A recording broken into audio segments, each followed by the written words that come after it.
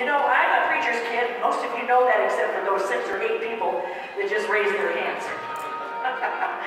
and um, we have a, we come, I come from a musical family, can you believe? Anyway, we would, we would, uh, uh, these, a lot of songs went through my mind as a child, and this is one of those songs. And it was made famous in the world by Louis Armstrong. I love the words to it, I love the music to it, and so I brought it to you because we live in a. God created it. Man's kind of destroyed it along the way. God created a beautiful world. We're going to sing about it.